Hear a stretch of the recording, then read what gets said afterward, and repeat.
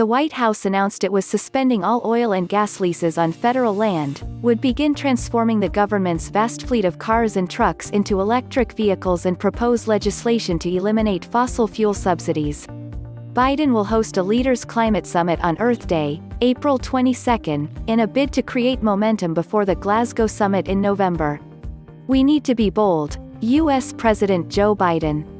Credit, AP, we've waited too long to deal with this climate crisis, Biden said at a White House signing ceremony. This is not a time for small measures. We need to be bold. Biden has also created a new Office of Domestic Climate Policy to coordinate climate policy across key government agencies. In his first appearance at the White House briefing room, Kerry said, the stakes on climate change just simply couldn't be any higher than they are right now.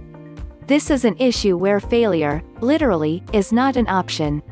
Speaking earlier at the World Economic Forum, Kerry said he read an article over Christmas that ought to stop every single one of us in our tracks.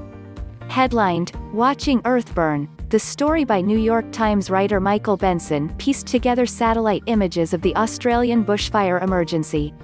You could see huge plumes of smoke when you saw these pictures of Australia's fires with, and I quote Michael, flame vortexes spiraling 200 feet into the air, passing New Zealand and stretching thousands of miles into the cobalt Pacific, Kerry said. He continued to quote details in Benson's article, including the razing of an estimated 46 million acres, loss of dozens of lives, destruction of nearly 6,000 buildings and potential extinction of some species. Benson summed it up, Kerry said. With shocking iconographic precision, that unfurling banner of smoke said, the war has started. We're losing.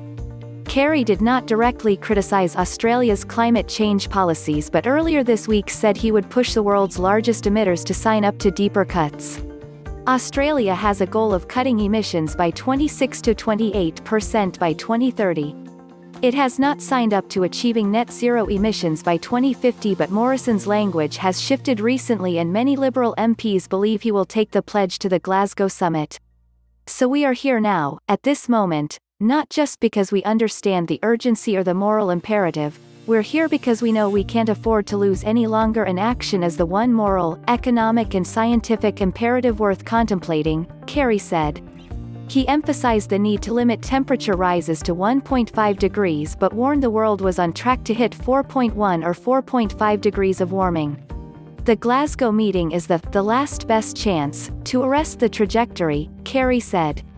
But even if we did everything that was promised in Paris, folks, temperatures are going to rise to 3.7 degrees.